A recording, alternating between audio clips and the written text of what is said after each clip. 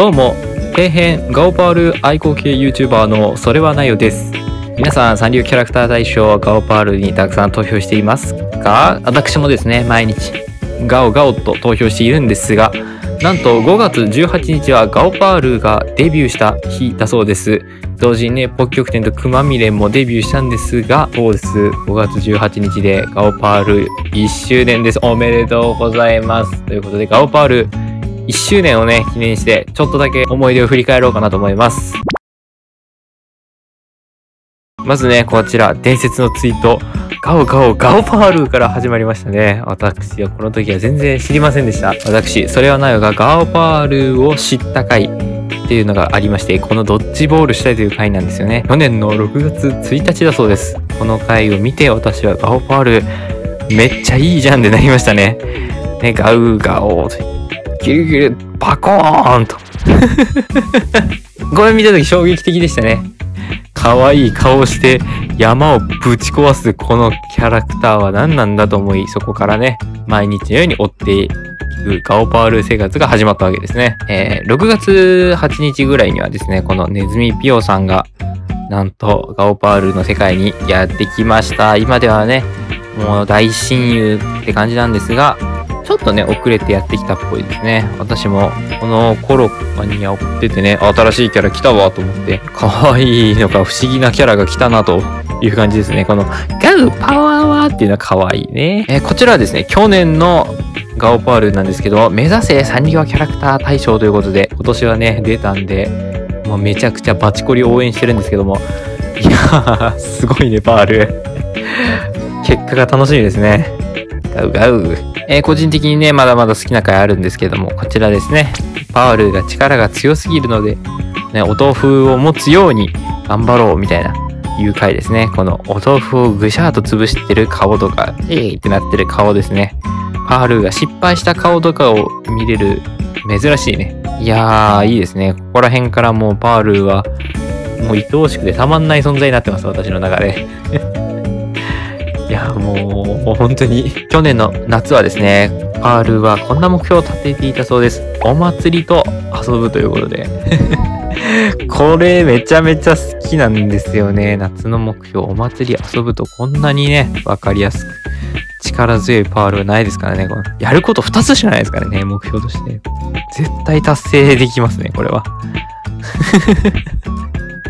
あの、一緒にいるぬいぐるみをね、寝かせてるところもポイント高いですね。はい、ということで、えー先ほどね、お話しした祭りのやつでございます。ワッショガウガウということで、動画がね、上がってるんですけれども、YouTube とかでも見れます。えーこのね、お祭りパワーを貯めろという時はね、当時ね、もう、やばかったですね。リアタイしてた時、お祭りパワーを貯めろって何って。そうですね。パワールの虜です、この時にはもうすっかり。もう、予測ができません、もう、パールは。お祭りパワーを貯めろなんてどうやって、何食べたらそれ思いつくんだろうって思います。はい、そして、パパルーめちゃめちゃいい子やんってなった回ですね。大きな栗がま小さき者たちにね、襲いかかってくるよというね、ちょっとシリアスな回なんですけども、ガシッと、パワフルパワーで止めました。素晴らしい、たくましい顔してますね。たくましい顔をしております。やうーと、もう自分の怪我を恐れず、小さき者たちを守るこの姿に、私は心を打たれました。本当に心を打たれるとはこういうことなんだなと。ちょっと泣きましたね、これ見た。パパクーって。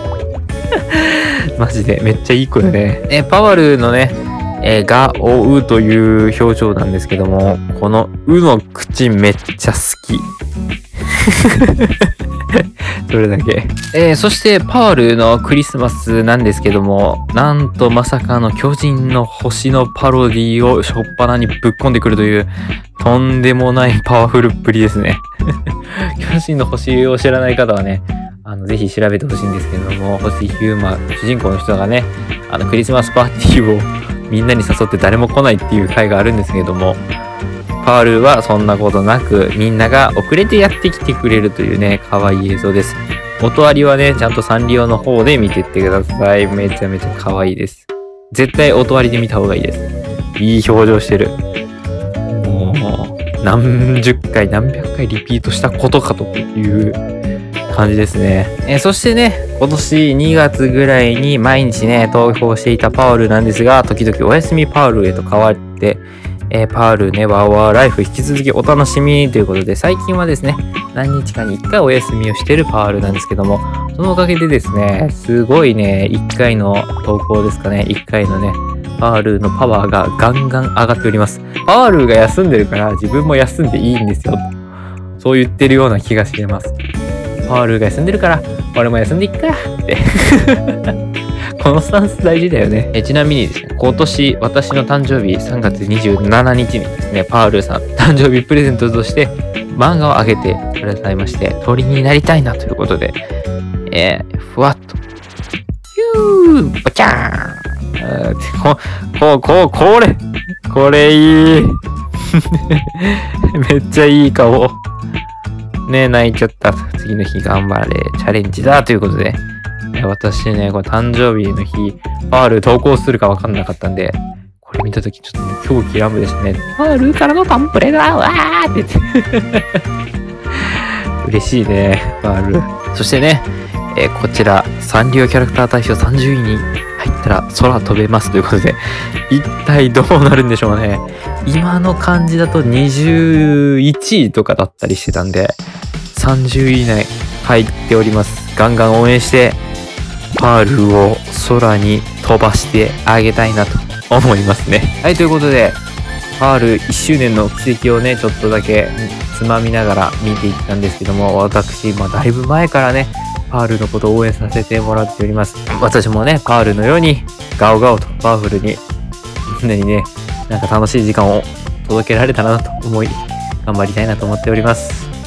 他にも動画あるので、ぜひ見ていってください。チャンネル登録、高評価、コメントしていただけると動画作りの力になります。ということで、それはないでした。また別の動画でお会いしましょう。パワーパール1周年おめでとう